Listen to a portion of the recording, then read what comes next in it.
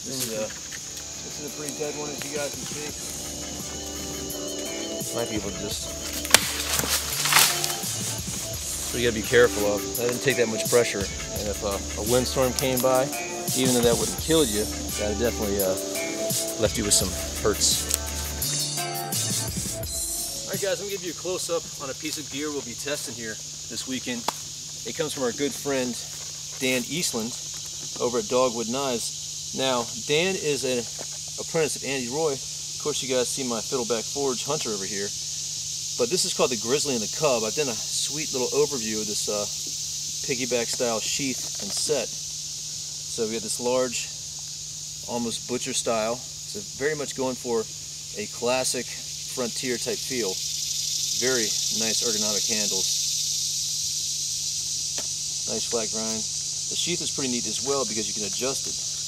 Also, we have a pouch right here. Throw a little survival kit in it if, if we so need. Right now, we're just out having fun with it. Now, I think this set goes for about 420, which is a little more expensive than his normal piece. A lot of his knives go for about 125, which is a great value. Uh, but this is a pretty all-encompassing set, and it's very neat. You guys can see Rick Lowe did the, uh, the leather work, and he is a very skilled craftsman. In previous videos, you're able to take off this skinner, so if you just want to walk around and leave the larger knife at camp, and of course you can snap it back in here.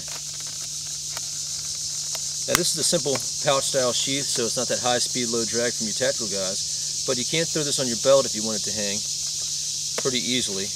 And I really like this Baldridge style rig. Great leather work. In this pouch, we got a Altoids tin in there for a survival kit.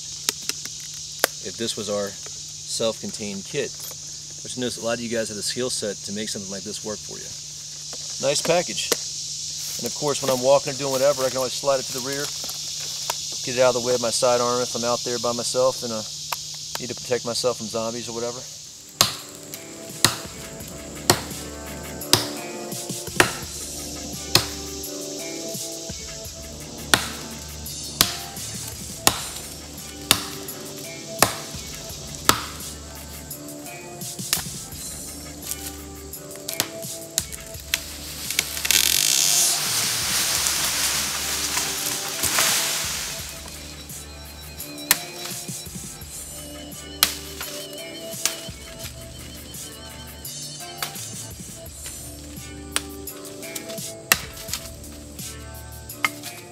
Shoot on what uh, what I'm sleeping in this weekend.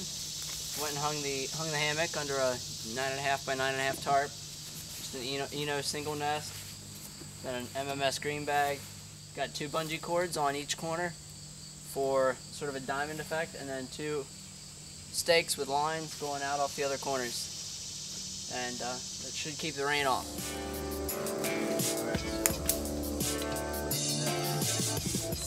We've been having some problems with flies and mosquitoes here in camp, and me and our camera guy Mark here, we're going to go and do a little hunt for a unique solution to bug repellent.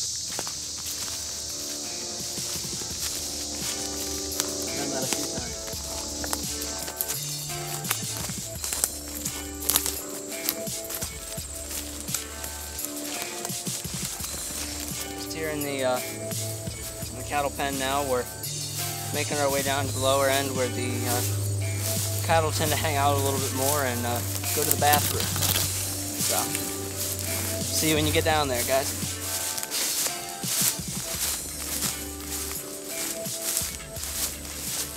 Okay, guys, we're uh, back here. We've made it to our destination for the unique bug repellent. Here's our unique bug repellent. All right, we came down and there, next to where we're camped at, there's a uh, cow pasture, and a lot of the manure is pushed over here. So there's some dry, compressed cow patties that are great for use as a bug repellent. Just put them on your fire, and the smoke will dissipate off the fire, and it works really well. It'll keep away flies and mosquitoes and stuff like that. And that's what we're gonna use it for when we get back to camp. So I'm gonna take my conveniently placed trash bag that was in my pocket, and we're gonna grab us a cow pie or two. to burn on our campfire. That is. I got a fever, and the only prescription is more cow pie. All right, guys, we just got back from the uh, cow pasture here. We've got our bag of cow pie, and uh, we're gonna go ahead and you just take these and the chunks, and you just toss them on the fire. And as they burn, they release something that really likes to get rid of the uh, get rid of the flies. These have a little bit more straw in them than to be desired, but some of the more clumpier ones will work better. So, as you can see, we got enough for the night. Like that one, nice there, a little moisture in it. We'll put off some good smoke to keep the flies and the bugs and stuff out of here all night for us so we can sleep and not get all eaten up by mosquitoes. All right, guys, we got this little nice little uh, extra piece of metal back there for this grizzly, and this allows us to get a nice, nice handle on this, so we can do some draw work and get in here and take out this lamp easily.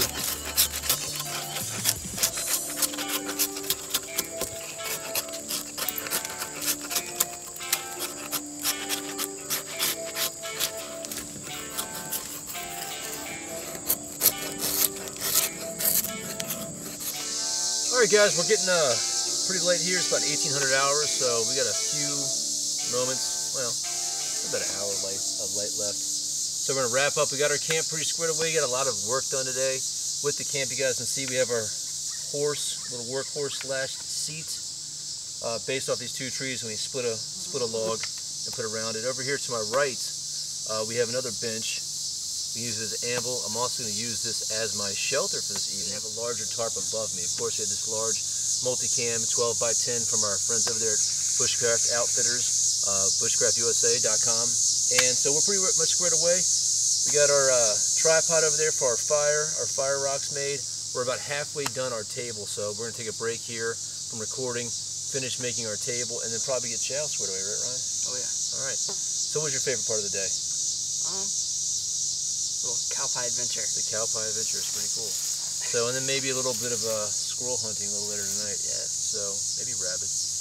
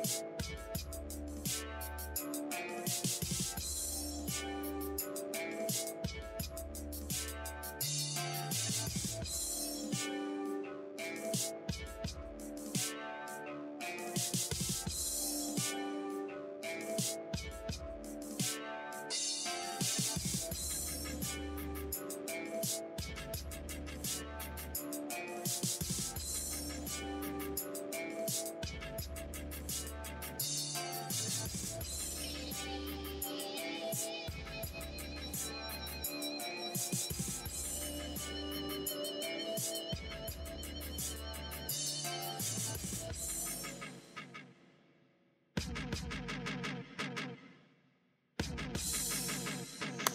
right, guys. Well, you know, all good things must come to an end, and uh, our day here was uh, is over now. We got to head back home and get some real food. Yeah. No, I'm hungry. In a shower. In the shower. Shower. Oh yeah, shower. I remember that thing. Shower's pretty good. But you know, our camp is pretty good for the first couple days here. Of course, we're going to clear out some more of that path. There's a game trail down there. We might have to investigate that a little bit more. This will probably be some uh, good firewood by the time we get back. We got our horses pretty squared away. One cool thing about this. I don't know if you guys can perceive it from the angle, but this is split down the middle, so we can actually have the saw work down here through here, and actually have these two areas to brace it if you're a one-man solo job. Of course, we have a nice hickory beating stick. Worked pretty well so far. And then we have our nice little bench for need be. I might have to do a bigger fire pit over here next time, Ryan. Yeah, make a big community fire pit. Yeah. And then uh, our trusty uh, tripod, which we're still uh, working on some different things. So many options with this, from making this a chair itself to a raised bed plat a raised platform for a bed.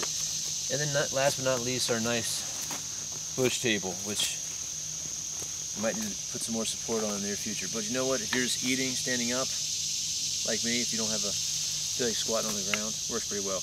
All right, guys, we'll appreciate you coming down and uh, hanging out with us on our trip here. We're going to be uh, walking out of the field here pretty soon, and we look forward to seeing you guys out here yourselves. All right, guys.